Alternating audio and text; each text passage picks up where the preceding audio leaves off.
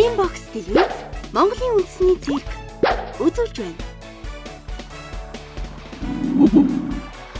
Адал явдал дуртай найзуудын шинхэн аялал хүүхдүүд та нарыг далай тэнгисийн гайхалтай ертөнцөөр аялуулах болно. 10-гаар 8 алж аимшигт шулам хөөхөн гүнж хөгжилтэй далаан гахаа. Тэднийг далай тэнгист ямар адал явдал хүлээж байгааг шидэт бонго далаагаар аялсан тоглолтоос үзээрэй.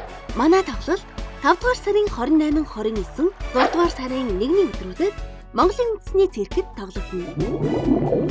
Хүрэлцэн ирсэн бүхэд бүр бэлэгтэй. Харилцах хүсний дугаар 32 55 22 46 30 79 89 тэг тэг 77 49 Билетийг 1916 17-оор үнэгүй хөргөөлөөрэй. Шидэт бонго далаагаар аялсан.